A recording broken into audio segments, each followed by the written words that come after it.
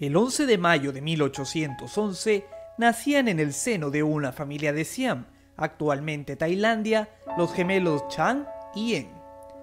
Estos hermanos nacieron con una cualidad muy poco común en los gemelos, nacieron unidos por algo más de 10 centímetros de pecho. Pese al hecho de que sus cuerpos parecían biológicamente independientes, ni tras su nacimiento, ni en los primeros años de vida se planteó separarles, por lo que esta pequeña unión les mantuvo juntos durante el resto de sus vidas. En 1829, la casualidad hizo que un explorador americano que se hacía llamar Capitán Naval Coffin se topara con ellos. Coffin, sorprendido por la rareza de los gemelos y debido a lo popular que estaban empezándose a hacer en aquella época los circos humanos, no dudó en hacerles un contrato, con el que viajarían por primera vez fuera de Siam. Las exhibiciones comenzaron en Inglaterra, aunque al poco tiempo la creciente popularidad les hizo desplazarse hacia Estados Unidos.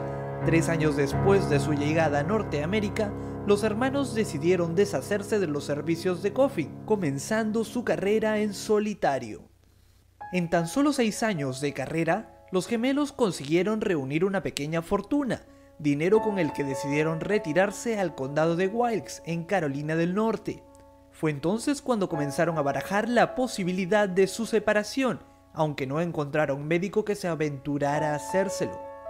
Sin poder llevar a cabo su separación, decidieron continuar con su vida, obtuvieron la nacionalidad estadounidense y adoptaron el apellido Bunker. Justo por aquella época, los gemelos conocieron a dos hermanas, quienes no estaban unidas y con las que se casaron los hermanos vivieron conjuntamente con sus esposas en un rancho con unas plantaciones en la que tuvieron contratados varios esclavos.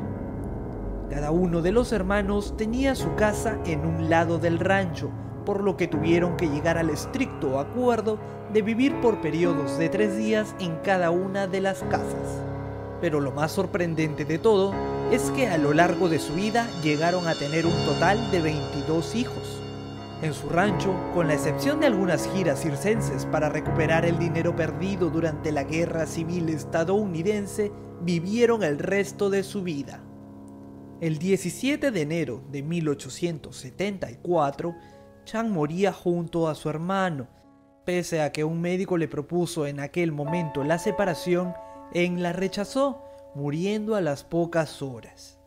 En las giras que hicieron a mediados del siglo XIX por Europa, junto a P.T. Barnum, adoptaron el sobrenombre de hermanos siameses, en honor a su país de origen, Siam, siendo esta la razón por la que se conoce a día de hoy como gemelos siameses a los que nacen con esta pequeña deformación.